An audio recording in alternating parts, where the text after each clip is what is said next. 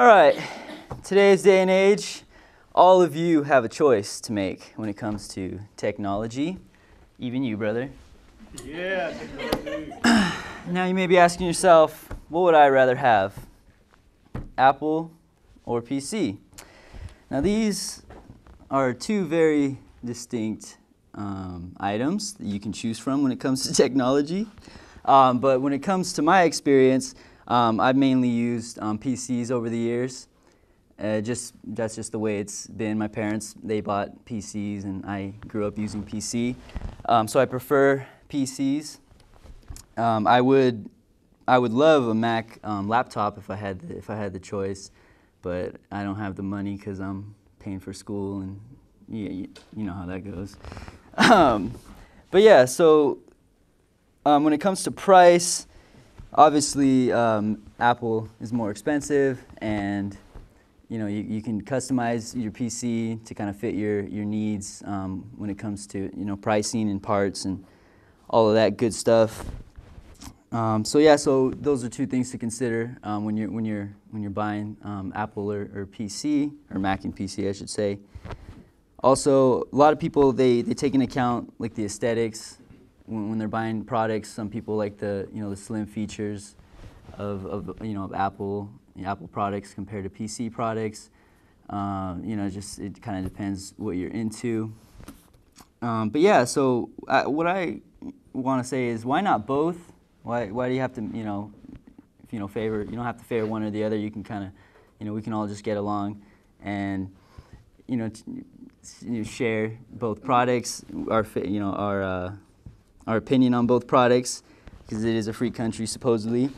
Uh, uh, so yeah, so when it comes to those two products, take those into consideration. Um, you know, I'm sure some of you have already made your choice on that matter, and you probably will be set like that for the rest of your lives on which you which you prefer. And you know, I I really don't care either way um, about either one. I'm not like a technical genius, so I just whatever works works, and that's that. How many of you have attended private school before? By a show of hands. Only a few. Cool. Um, well, I'll tell you about my path in education. I went to private school from kindergarten, actually preschool, until um, senior year of high school. And then I went to community college for two years, and I transferred here as a junior. And I loved being in private school. Um, there's some pretty cool things about it. I think it was great.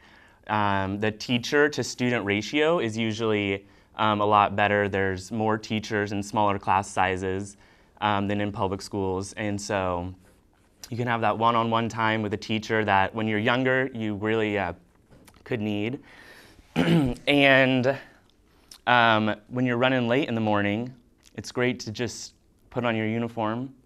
You know exactly what you're going to wear, and you don't have to worry about new, wearing uh, cool clothes every day in a public school.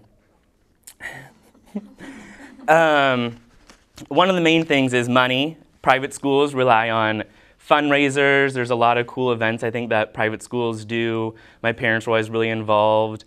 Um, and there's grandparents day your grandparents get to come to school and there's a lot of cool activities i think that go on at private schools in um, public schools it's funded by the government and right now there's tons of cuts and deficits and big money issues um, one other thing is in my class, I was with like 30 kids from kindergarten all the way through eighth grade.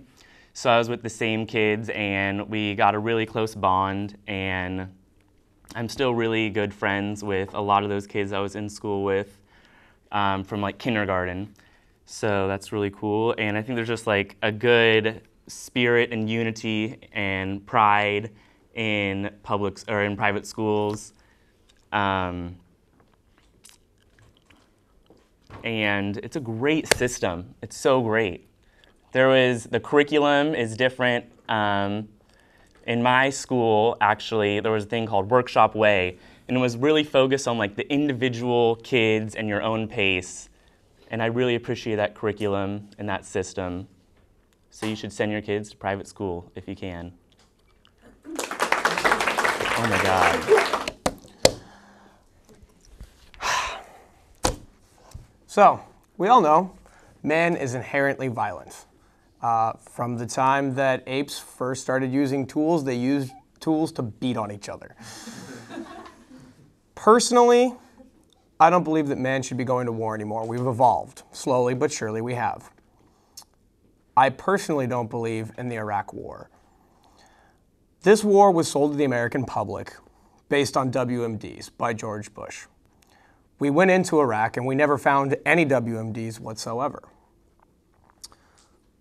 This should have been an indicator to us, or our first indicator at least, that we had been we'd basically been sold a lie. This war, eventually, I think, as uh, as many of us can agree, was waged for oil and money. This is the kind of thing that the American public should have impeached George Bush for. War, to me, is always a last resort. It should never be a first option. The whole reason that we ended up going into any war whatsoever was because of 9 11. Al Qaeda attacked our country, and we wanted to respond and destroy terrorism. From there, terrorism became the operative word. Basically, George W. Bush used the word terrorism to piggyback and create his own form of terrorism, a media terrorism.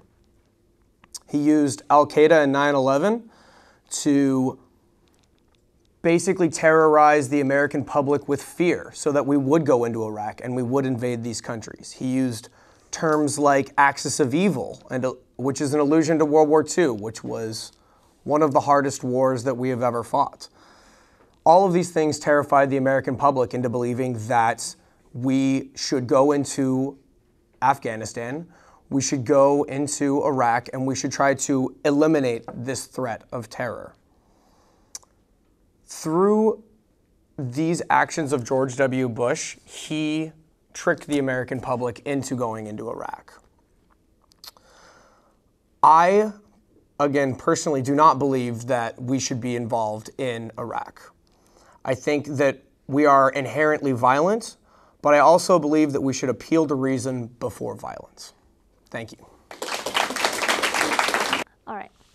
So, my favorite personality characteristic would be a go getter. Um, I admire go getters. They are the people who run this country. As um, Kenny said uh, before, um, go getters are your Oprah Winfrey's of the world. They're the people who put together Big Bang Theory that we love so much. And uh, go getters are people that we really do admire and appreciate. It doesn't matter if it's a political person, if it's someone we watch on TV. Uh, it could be like your grandparents that you want to model your life after.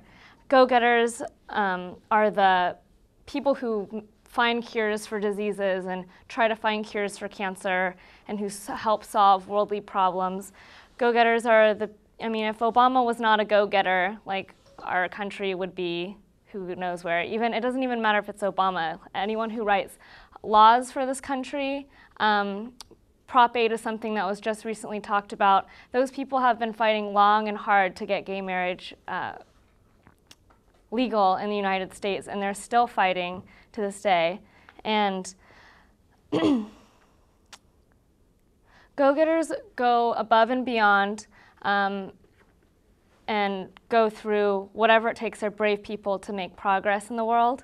And I would hope one day to be um, someone where my kids and other people will look up and say, you know, Krista was a go-getter and I admire her for it and she should, she's inspirational for it.